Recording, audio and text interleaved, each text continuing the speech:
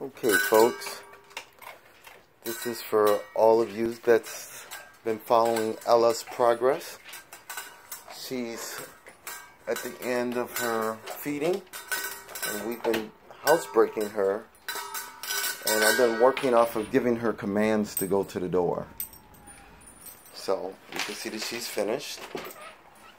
She's also drank all her water. Now I'm gonna, here's the front door. Here's Ella. Ella, wanna go potty? Wanna go potty?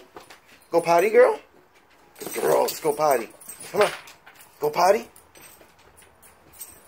Go potty? Ella wanna go potty? Hmm? Good girl, Ella. So I'll give her a command to sit now. I just gave her a sign command to sit. I gave her a command to stay. Here's the lead. She does not know perimeter training yet. We've been working on it, but as soon as she sees a human being, she's gone to say hi. She will not stay in the yard if she sees another person. All of that takes a lot more work.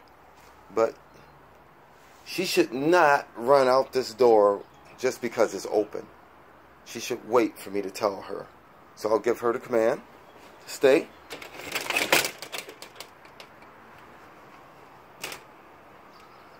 And she's anxious. No, uh, bad dog, Ella.